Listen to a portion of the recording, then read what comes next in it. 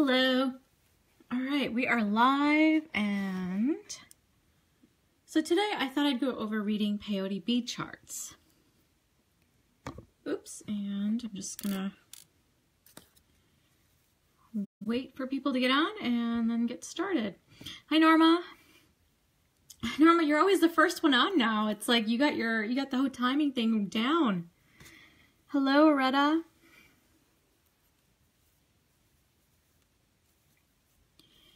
Okay, so um, if you saw my post in the group, I gave you guys a copy of the bead chart that I have. It's a peyote bead chart. Hi, Cheryl.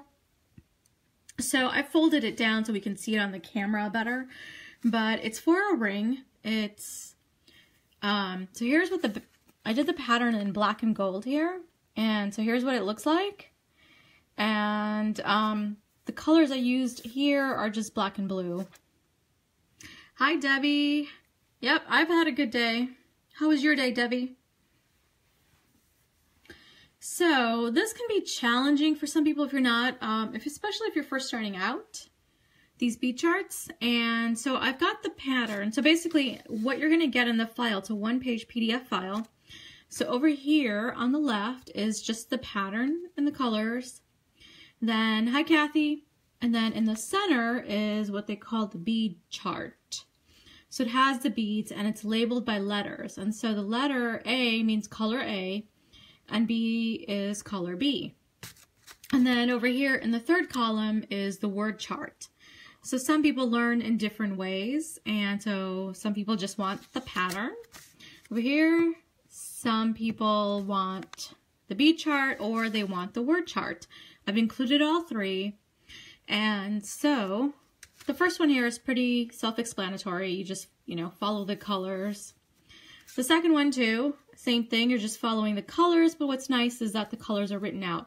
Now this bead chart, I kept it to only two colors, but when you have something fairly complicated, hey Cheryl, hi Mary.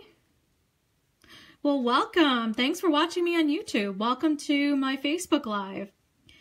Uh, a lot of people, um, so as I was saying, uh, when you have more than two colors, it, this, a lot of people find that having a bead chart like this is very helpful. Then you know which color to pick up, A, B, C, D. I mean, some of these peyote patterns can be really, really complicated.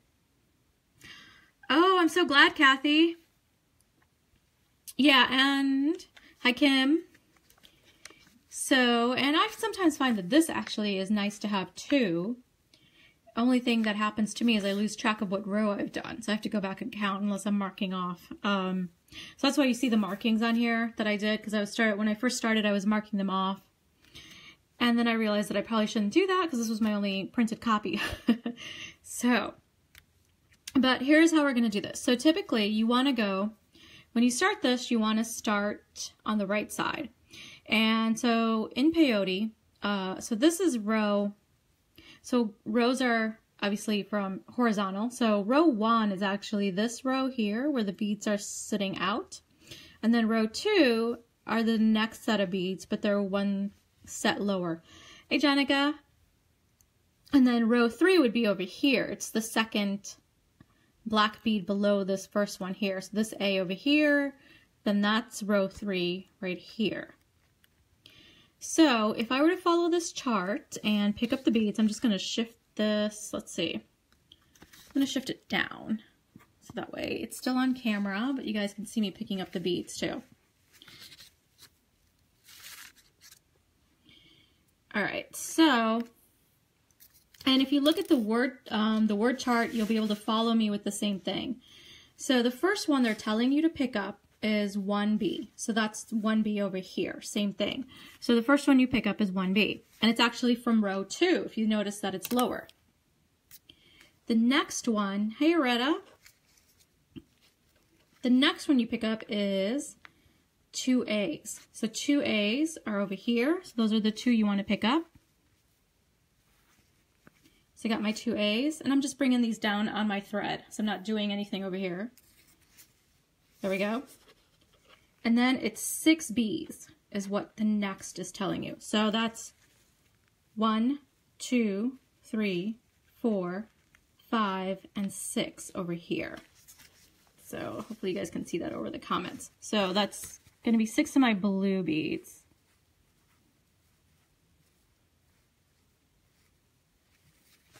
And that's six.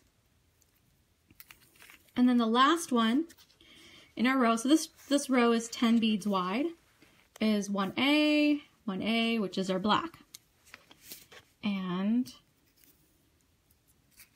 so there it is.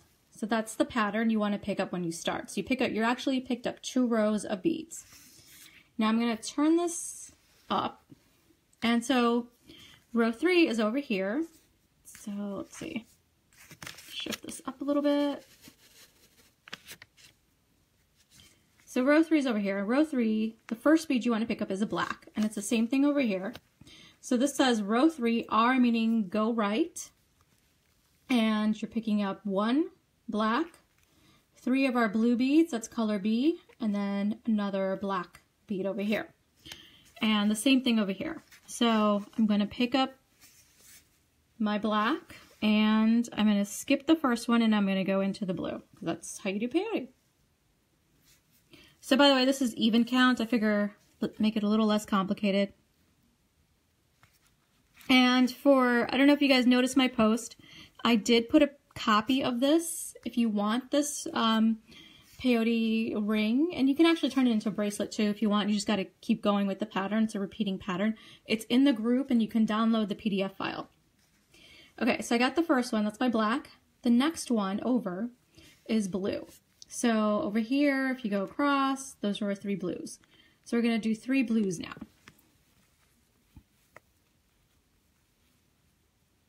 Oh, I'm glad you found it. Okay, so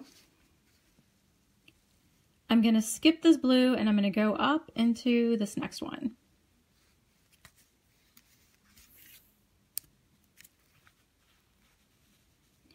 And then I got two more to add because it says three blues, so I'm going to keep going.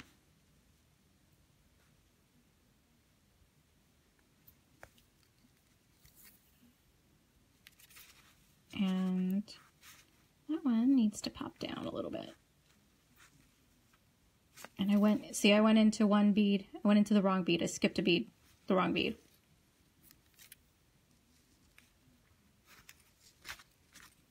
So when you're first starting, that can happen. So I just went.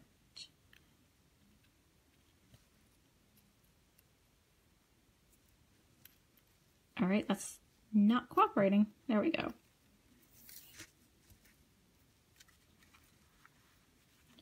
All right, so I've added two now. And I got one more blue.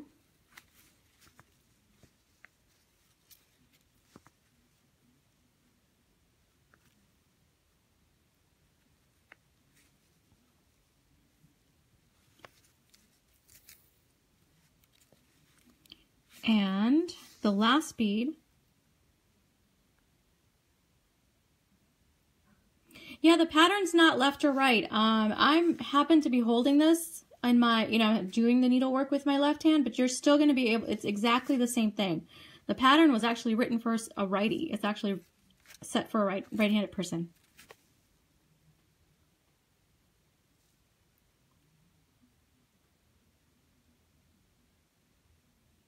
Nope. So typically they tell you to start, I mean, all of these tell you to start this way. I'm just showing you how to do it if you're left-handed and how to go about following it. So this is my, this is basically, or sorry, flip it.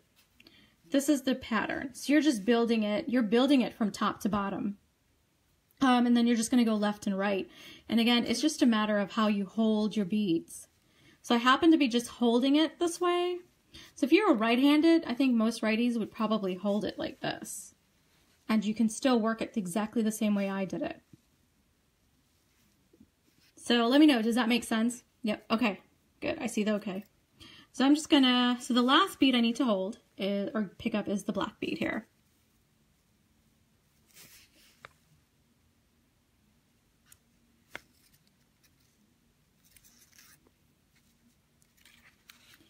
All right, so here's the pattern. And so And this is how it's going to be set. So it doesn't change anything. It's just a matter of how you go about reading it. So it doesn't matter whether you're left-handed or right-handed. You can work this pattern in pretty much the same way. So I'm just gonna, and what I typically do is just, I just flip everything. So I work from the bottom up as I'm adding the rows. So row four, um, it says to go left. So row four would be starting here. So that's row four, A. So if you follow this, it's 1A, 1A, and then again 3Bs. So it's one, two, three of our color B, and then 1A. So then you end there.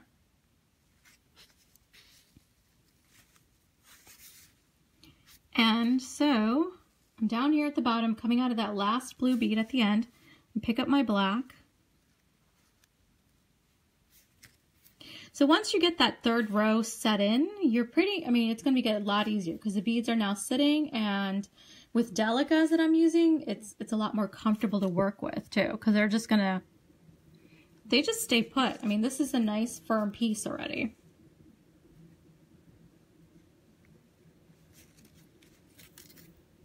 So, and I'm using wildfire thread, which is also gives you a nice, more firm piece.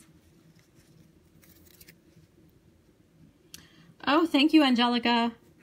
The same to you. All right, so if you followed what I just did, I added one black, one, two, three of my color B, which is the blue. And now I'm gonna add my last color, or color A in my last bead in this row. And then this is the built out of the pattern. So, and then again, I just, like I said, I work up. So I'm just gonna flip it this way. And so row five now is gonna be two A's and three B's. So row five is one, two A's, and let me see if I can shift that up a little more so you guys can see. One, two A's, and then one, two, three B's.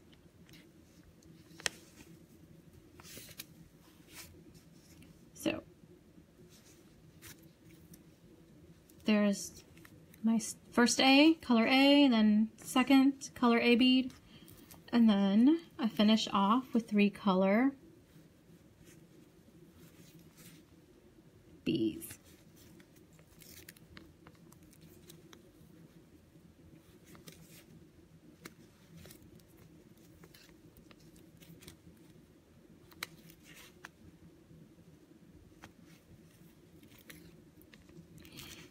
And there you go. There's the pattern. You can start seeing that zigzag pattern. So here's the, the pattern that I did in gold. And then here's how the pattern would look. So see, it's coming out the same way. So this just shows you the whole pattern. I just happened to do it in, I wanted a, a black and gold ring, so that's why I did it in these colors, because this is for me. Um, and I'm going to show you one more row and then um, I'll show you how to zip up a, a row, um, a peyote ring like this to do, or even if you do like a toggle clasp, knowing how to zip it up is good. Oh, you are welcome, Loretta. All right, so row six. Row six on the bead chart is here. So it starts with the blue, blue, blue, and then it'll be two blacks. So same thing, row six, three blues, what I just showed you, and then two of color A, which is my two blacks.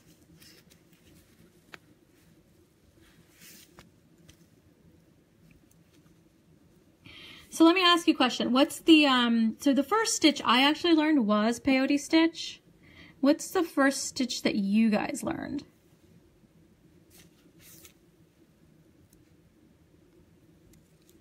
So my first one is in.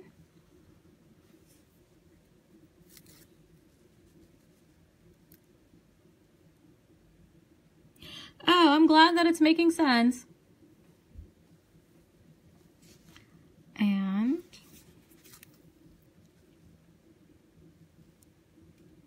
Loom beading. You know, I have never tried loom beading. That's um, one thing that I've been wanting to try to do. Oh, it took me, Debbie, a right angle weave was one of the harder ones for me because all the instructions were right-handed. so it's such a hard time figuring that one out, especially doing multiple rows. Oh yeah, netting. Oh wow, another right angle weaver. Wow. Yeah, peyote and bead charts was actually one of my first ones. Anyway, so that's how you do that. And um, if you guys didn't hear me or came in a little bit later, I a copy of this is in the group. So it's just JRP Designs group and you can just download it. It's a PDF file and you're welcome to it. It's a ring. It's about the length in there.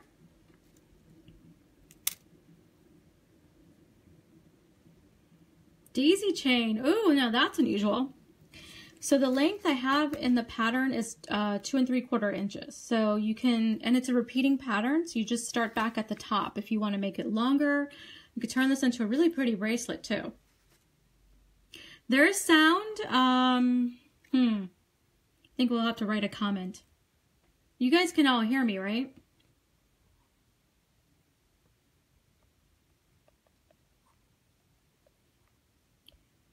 There is sound. Okay. Yeah, you guys are uh, welcome. No problem. So let me show you. I'm going to move this chart out of the way. Yeah, I you know I go back and forth between the the chart and the um the word or the bead chart and the words uh, word chart there. It uh, Kim, so it depends. Okay, great. Thank you guys. All right, so if you were to make this into a ring, if you go ahead and build out the pattern. So Carol, you might want to restart it if she can't hear. Um, so I'm going to tell her to restart the um, video.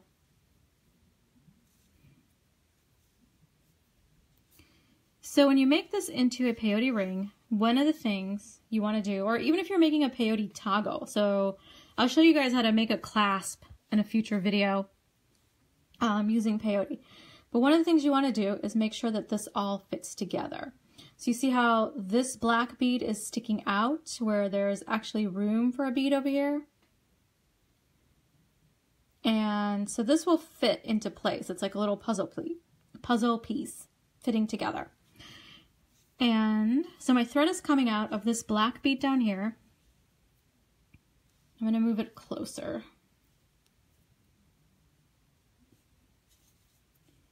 And to zip it up, then you go into the other side. So this will go around. And I'm going to leave this loose for now, just so you guys can see the thread path. Then you would go across to this one that's sticking out. So basically you're going back and forth between the beads that are sticking out. So the next bead that's sticking out is this black one on this side.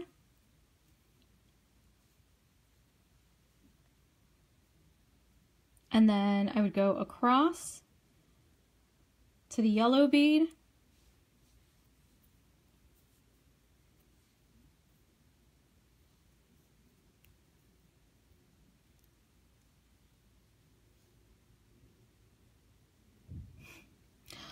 Oh, absolute. Oh, it's. Are you talking about this one, or the oh the one from last night, Beverly? And so I'm coming out of this. I'm going to go across to the next gold.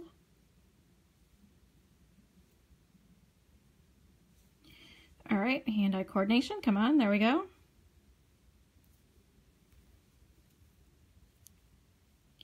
And then across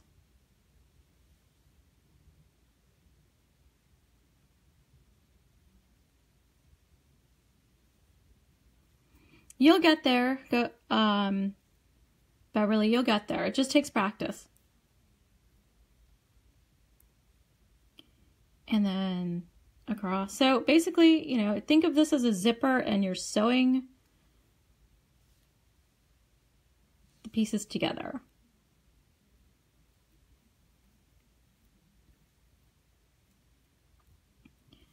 So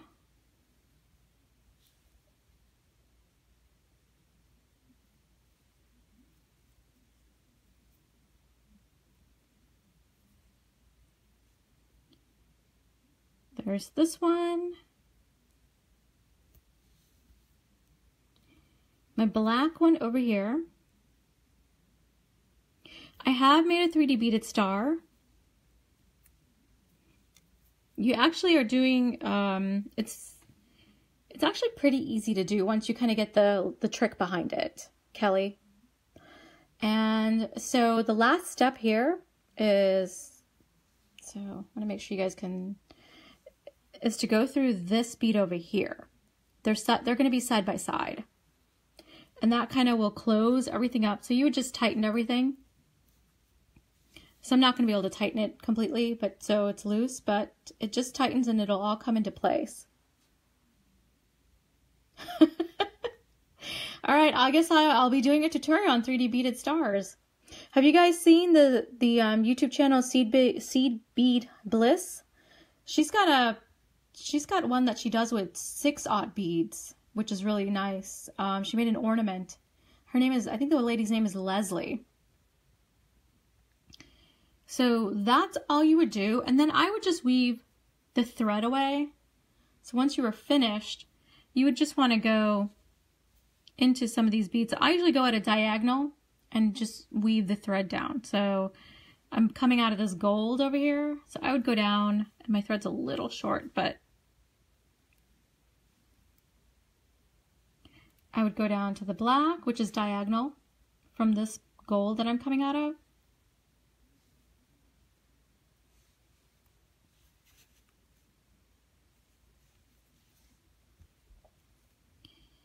And then you can go across and go up. Oh, you're very welcome, Kathy. This is, like I said, I really seem to enjoy doing this. It's fun.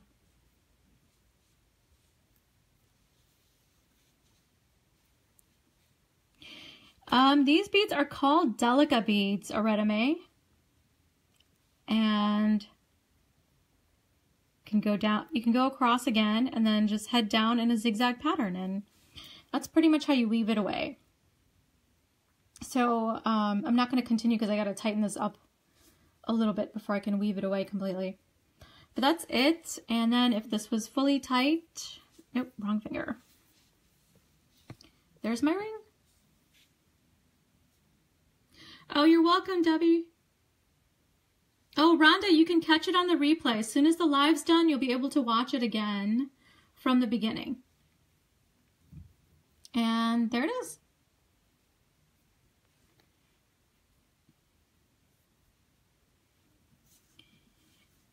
All right. Oh, I'm glad you like it. So let me show you the beads Aretame. So I got some at Art Beads and they're Miyuki. And this one's, um, the gold one that I was using is lined marigold. And then there's Delicas. Uh, so Art Beads definitely carries them. A lot of the Oh, you're, oh, I'm glad you like the ring, Terry. Yeah, the pattern is in the group. So if you want to go into the JRP Designs group, there's a PDF that you can download if you want the pattern. So here's the blue ones. Oh yeah, green and green and red would look nice. I did one in pink um, here too. So this was kind of just a fun fun piece that I did. And here's the black beads. They're the opaque black delica. So I got all of these. You get a little bag of eight grams of beads. This can go a, a long way, this little bit of eight grams. And so the beads are very uniform in shape. Yes, these are all um, size 7 Delica beads. So if you take a look at the beads, they're, they're cylindrical beads Oh, you're welcome, Mary. I'm so glad that you're able to follow them. Yeah, I love art beads too. So here they are. They're very uniform in shape, and so that's why the beaded pieces sit so completely. You can see how they it's like the little bricks sitting together.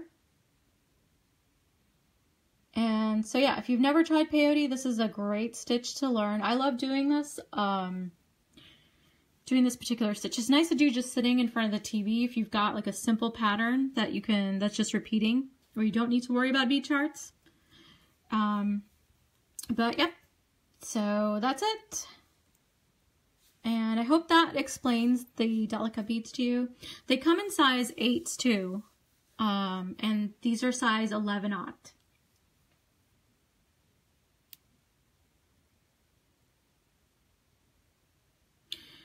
So, um, what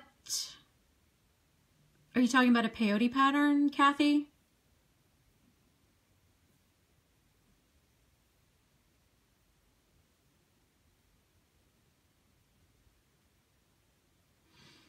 Oh yeah, you should definitely do some, Aretta. Definitely, good idea.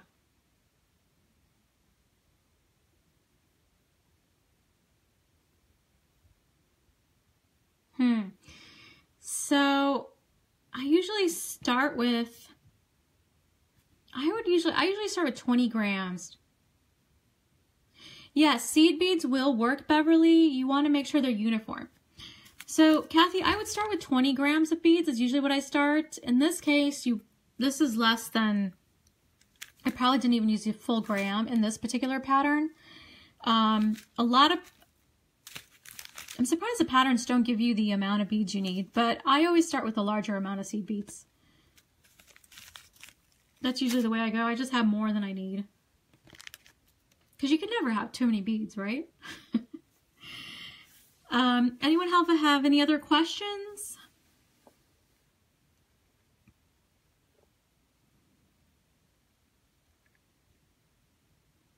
Yes, exactly. To be safe, I always um, have a larger amount of beads. So, and I a lot of times you contact the designer, they'll tell you um, how many beads to to get. So, because they usually, like the program, I use a program called Bead Tool when I do these peyote designs. And um, it's an inexpensive, I'm back tomorrow, 9 p.m. Central. It's an inex inexpensive program. It's about $50 software program, but it'll it gives you a bead count. It tells you how many beads the pattern requires by color.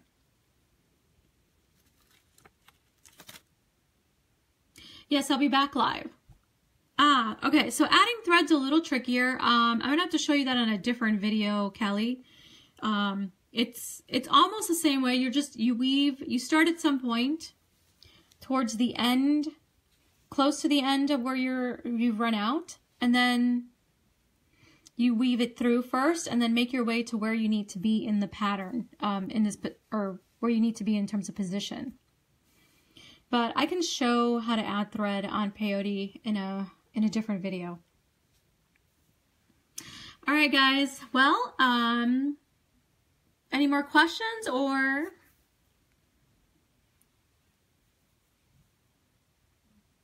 there's like this 30 second delay, so I'm just waiting.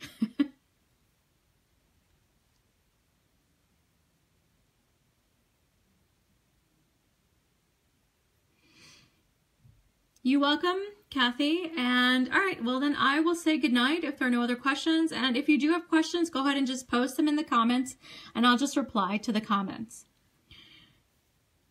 You're welcome. Have a good night, everyone. See you tomorrow, 9 p.m. Central.